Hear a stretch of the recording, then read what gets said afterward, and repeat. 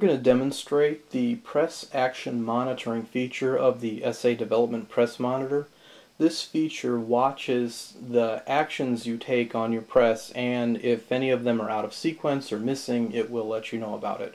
I currently have it configured for a Dillon 550 which is a progressive press but it has a manual shell plate that you rotate by hand. So we're going to go ahead and get started here and I'm going to start cycling the press. I'm going to pull the handle down I'm going to push the handle back up in prime and I'm going to rotate the shell plate. You'll notice that you can just keep repeating this and as long as you're doing everything right the press monitor will happily follow along with you. But uh, one big issue that some 550 users have had is that they will forget to rotate the shell plate. And if you do this, the real risk is that you can double charge around by cycling it through the powder measure twice. So we're going to go ahead and simulate what the press monitor will do if you forget to rotate the shell plate. I'm going to pull down on the handle, push up and prime, and instead of rotating, I'm going to go ahead and pull down on the handle again.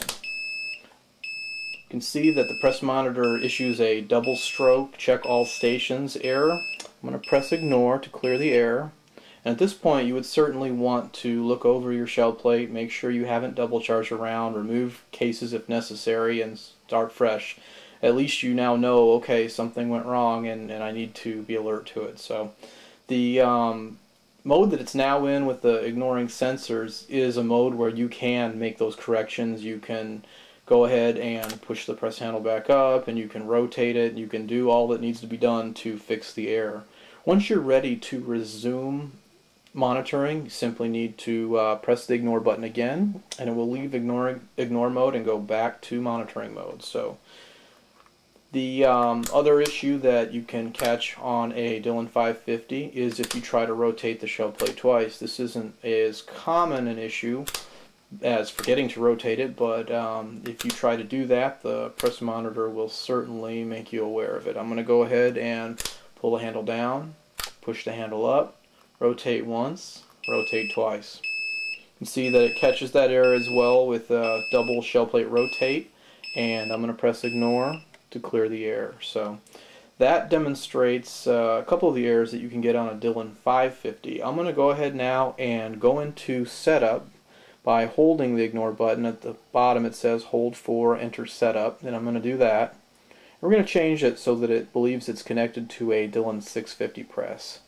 That's under the main settings and it's easy user interface to pick what you want it to uh, what you want your settings to be. So I've now selected the Dillon 650 and I'm going to exit setup.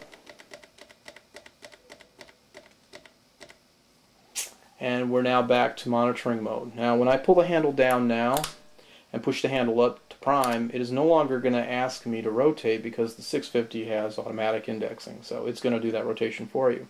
So I'm going to go ahead and pull the handle down again, push the handle back up to prime, pull it back down again, push it back up to prime what's going to happen with a 650 is uh, it'll it'll catch other errors, and these errors can also be caught on a 550. But since it occurs on both presses, I thought I would show it on the 650. Is that if you pull the handle down, but you don't pull it down all the way, so that you are fully cycling the press and then push it back up, you'll get a short stroke. Okay, this is a short stroke error. I'm going to go ahead and press ignore to stop the beeping.